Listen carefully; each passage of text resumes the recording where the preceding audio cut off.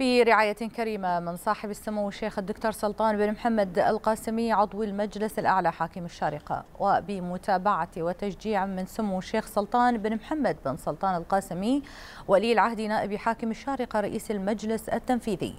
كشفت اللجنة العليا المنظمة للنسخة السادسة من طواف الشارقة الدولي للدراجات الهوائية عن تفاصيل وملامح الطواف الذي أصبح أحد أهم العناوين في عالم الدراجات والسباقات على المستوى الدولي.